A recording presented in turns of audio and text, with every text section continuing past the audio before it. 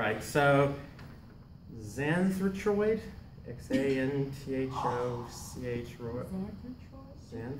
Xanthotroid. It looks like Xanthorkin.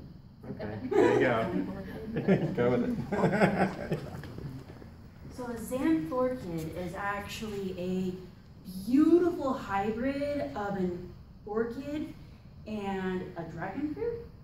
Hmm. And I don't know where the xan came from, but who knew that when you combined these two precious and elegant plants that you would get a wonderful plant in and of itself.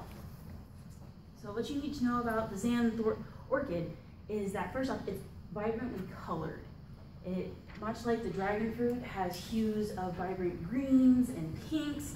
It is all reflected in this beautiful flower.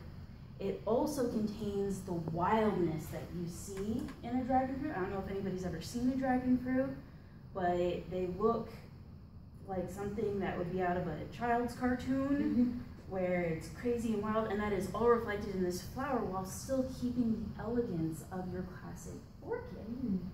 And the great thing about the xanthorchid is that you can't overwater them. They're very hard to kill. So I recommend this flower for anybody that has more of a brown thumb than a green thumb.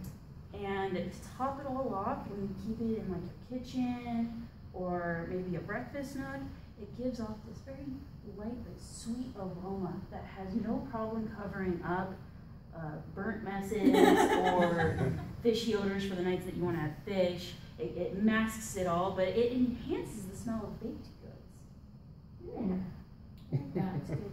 So. I encourage all of you, go to your local plant nursery and pick up a xanthorchid.